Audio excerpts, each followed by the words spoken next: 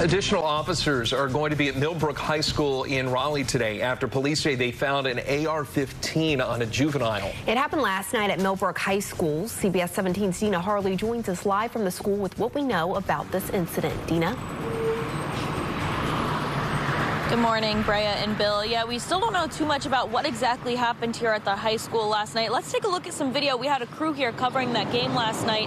The basketball game was going on here at Millbrook High School when Raleigh police got a call about a person with a gun around 840 last night. Raleigh police say they worked with the Wake County Sheriff's Office and school security to find a male juvenile who had an AR-15 with him. That juvenile was then taken into custody. We're told he is not a student here at the high school. Since a juvenile was involved, a juvenile petition has to be secured in order for him to face charges. Police say they are already working on that. We've been here at the school all morning today. So far, not much of a police presence here. We'll keep an eye on that. Police say that this investigation is ongoing. Live in Raleigh, Dina Harley, CBS 17 News.